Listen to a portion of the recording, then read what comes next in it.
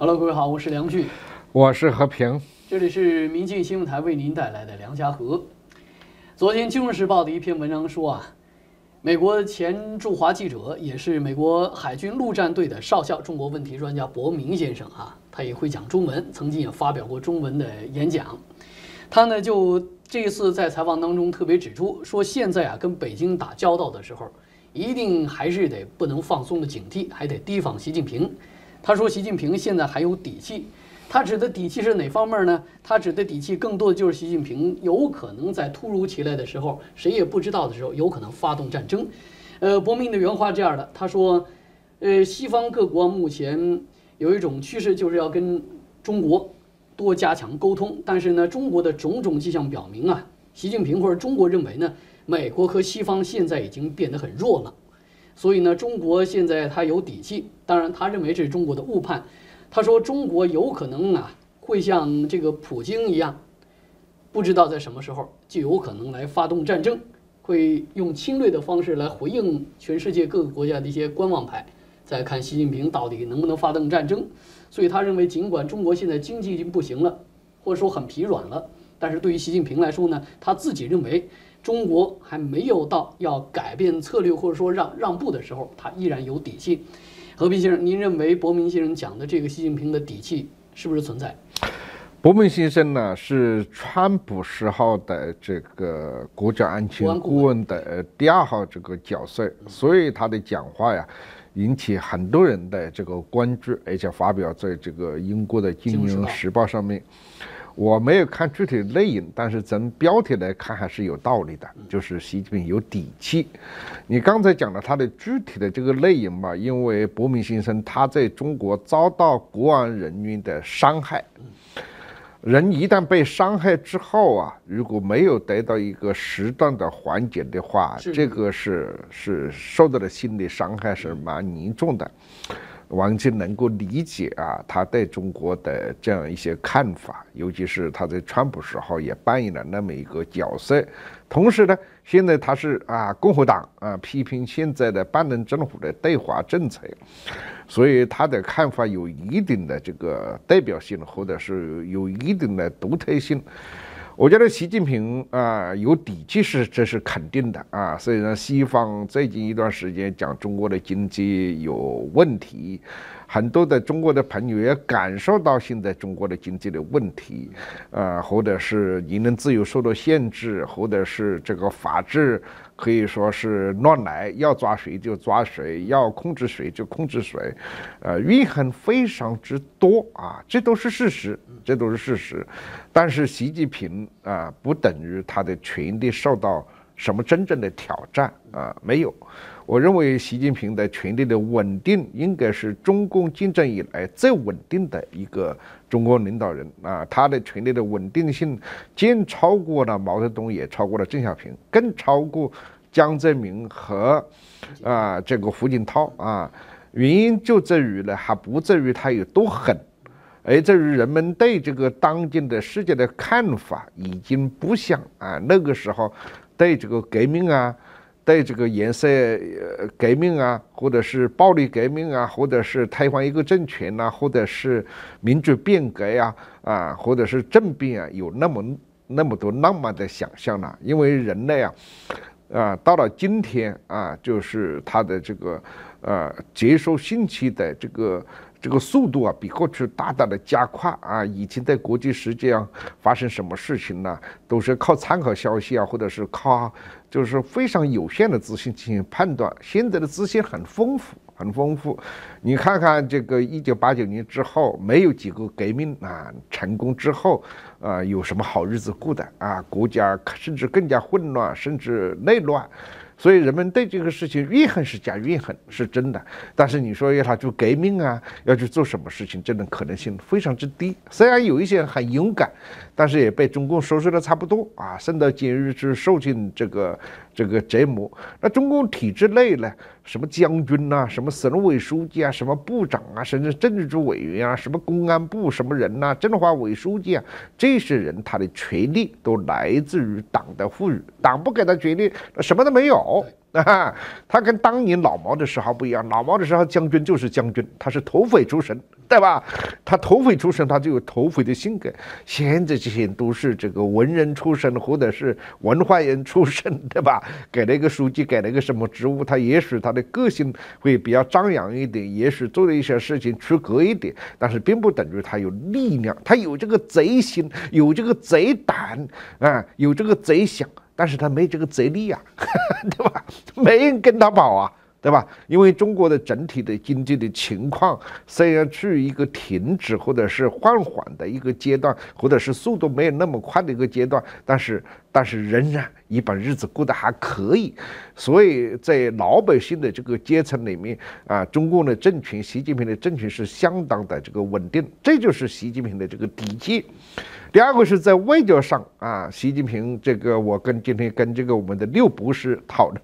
我就跟他说，我说这个习近平的外交啊是，呃，战略是平衡的。战术是笨拙的，哎，他他很同意我这个判断啊，就是说，习近平的战略为什么是平稳的呢？就是说，中国的传统上来讲，介于这个国际政治啊，就不是那么的积极啊，不是那么的积极啊，也不是那么引你选边。那当然以前是没办法，意识形态时代、冷战时代。那到了改革开放之后，中共就发现。啊我不管你什么国家，什么这个皇权也好，专制也好，民主也好啊，什么宗教也好，而我就跟你做生意啊，然后做生意。发展经济是中共的一个主要的一个国际关系的一个部分，意识形态并不是最主要的。包括他搞了什么大外宣呐，什么呃什么孔子学院啊，什么海外警察局啊，你真正仔细去看都没什么作用啊，都没有什么力量，也不是真的在玩啊，是假的浪费钱。在我看来是浪费钱啊，浪费经费，通通都应该取消。什么大外学，什么什么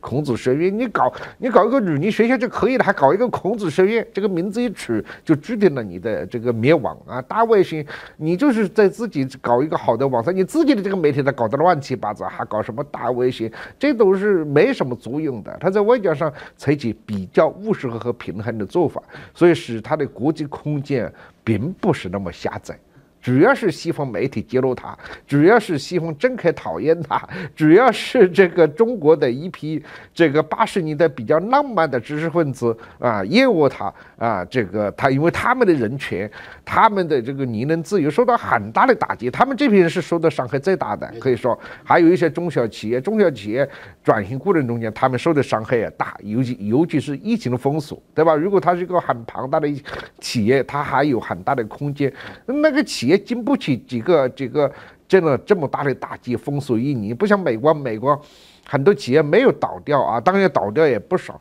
那就是政府及时的帮助。中国中小企业没有得到政府多少的帮助啊，政府不把你宰死就不错了。所以大家的怨恨很多，但是这些怨恨都不会形成一个真正大的一个力量。中国的经济的体量啊，仍然是非常强大，而且在新的这个产业变化中间啊，中国作为整体来讲。几乎啊，我是比较乐观啊，在这方面，我几乎认为是新技术革命这个潮流中间，第四次产业革命中间，中国仍然是主导性的产业的主导性的啊国家，而别的国家在几十年之内根本没有取得的可能性，什么图高啊，什么中国加一啊，什么去风险啊，啊这些想法都是。啊，主观的想法，一阵风根本就实行不了，因为主要是没有这样的经济体，这才是习近平的这个啊这个底气。那甚至是不是习近平要去打什么仗呢？那是另外一个话题，那是台湾的危机，比如说朝鲜半岛的危机，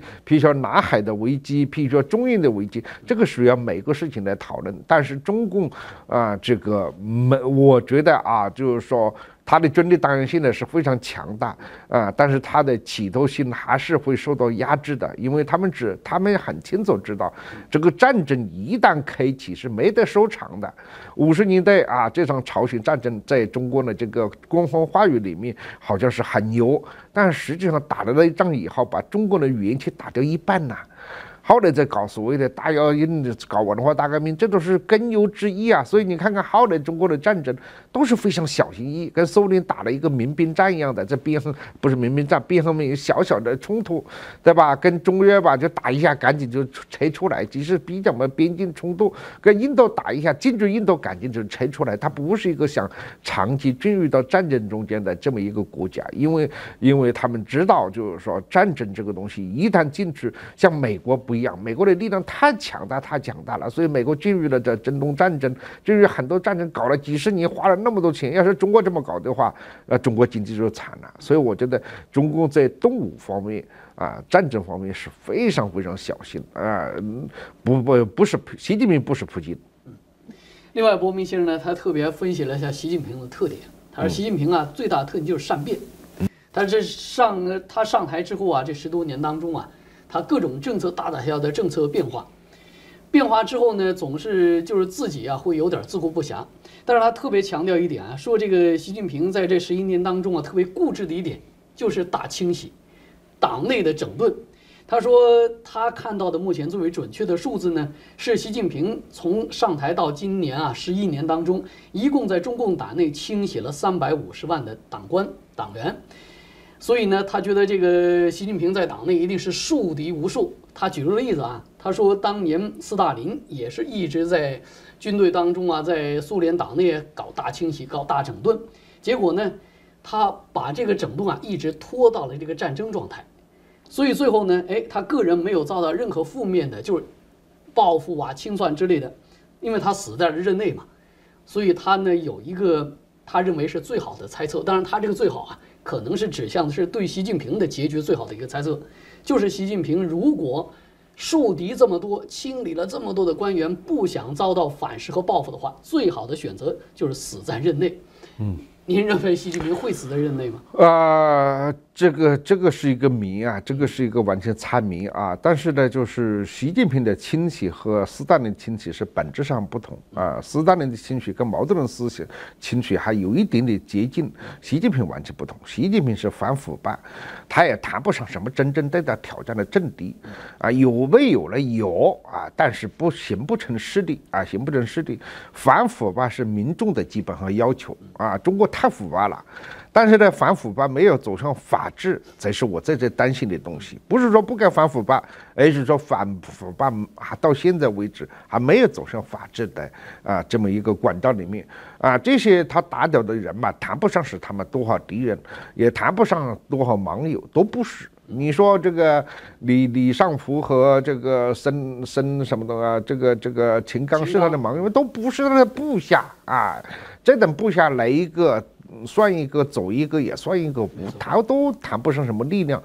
薄熙来这些人都谈不上政敌啊！薄熙来我都写过这样的书，也思考过啊，了解过这些情况。薄熙来有薄熙来的个性的问题，有他的政治野心问题，但是他说形成一个党内多大的力量，向习近平进行策略性的权权力挑战，都谈不上啊啊！这个中国的政治派系不像毛泽东时代啊，党内没判千奇百怪，错了。因为那个时候的千奇百怪是正常的，都是土匪流氓在各个山头里来来的，那当然有派系啊。现在你上海的干部不一定是上海的，你山东的干部不一定是山东的，没有一眼、二眼、三眼、四眼，所以对于习近平来讲，这都不是问题啊，亲戚不是问题。那至于这个这个，啊，就是说。呃，他是不是死在任内吧？这个纯粹是猜测，我我不能下保证说习近平的权力没有那么贪婪，呃，但是我是说这种可能性应该相对来比较低。习近平对中国最大的可能最真的一个贡献就是建立一个啊权力的比较具有平衡感，能够最优选择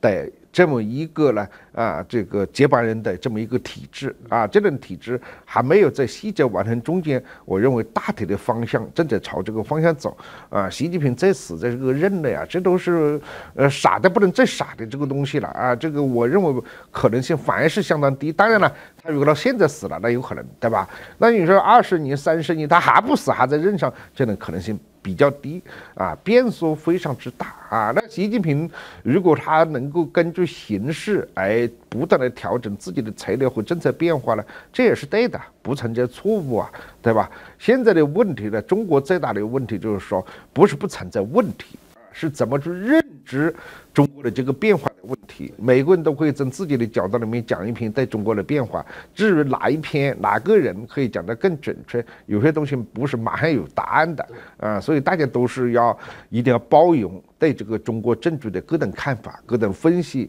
啊，不要轻易就给对方一个帽子，什么极右啊，或者是极左啊啊。当然是极左和极右是真实的存在啊，但是呢，就是说。呃，不要简单的否定别人的一些一些看法，但是你可以坚持，或者是尽可能找到自己的啊一些看法。啊，在我看起来呢，就是说中国人的思维在某一些群体里面，它太单一了，不够丰富。我觉得我们要尽可能的对中国的问题的看法多一些丰富的层次。对，所以习近平来说呢，就像伯明他分析的一样，就是。确实，习近平大家观察到，就是他上任十一年以来，他有很多的变化，他自己的变化，自己的一一种呃，自己推翻自己的，或者说自己的一种革命斗争。所以呢，其实也是习近平来说的话，你到底怎么下一个定论？像刚才伯明讲的，会不会死在死在任内？按照习近平他的这个计划来说，我相信他已经有了一个很具体的计划，他一定不会让自己就真是干到精疲力尽，最后倒在台上开会的时候，不可能。当然，除非是突发事件。对对对。好，以上就是我们这期节目跟大家分享的全部信息，感谢各位的收看，我们下期节目再会，谢谢。